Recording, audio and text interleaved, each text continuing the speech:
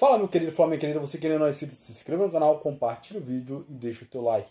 Tô aqui na quarentena, né? Fala que é quarentena há 12 dias e tô indo para o 13 terceiro dia. E quero trazer uma informação para você. Peço que se inscreva, compartilhe o vídeo e deixa o like. Referente ao auxílio é, que o governo vai dar aí a todas as pessoas, trabalhadores, MEI, a todos os trabalhadores informais, até quem recebe Bolsa Família vai ter direito. Como vai funcionar? É, para receber 1.200 tem que ter duas pessoas que trabalham informal dentro da própria casa e o salário não pode exceder a 3 mil e poucos reais por mês.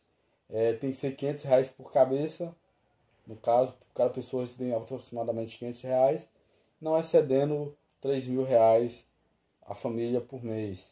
Lembrando que esse auxílio também vai ser para o pessoal que recebe Bolsa Família, de 600 reais por, por Bolsa Família e se tiver dois, chegando a ter 1.200 o máximo por família, que é no caso duas pessoas da família. Como vou fazer para receber? Não está liberado ainda, ainda falta passar pelo Senado para que o Senado aprove, para que se siga para a, o presidente sancionar. Isso pode ocorrer tanto agora no final do mês, né, que é até o dia 31, ou no começo do mês de abril até o dia 10.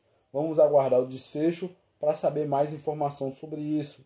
É, eu torço que o país consiga superar essa crise. Lembrando você, fique em casa, não saia por nada que não seja. É, é, é, não saia por nada, a não ser que seja necessário de extrema urgência. Lembrando que o bem maior é a sua vida, é a vida da sua família e a vida de todos aqueles que você ama.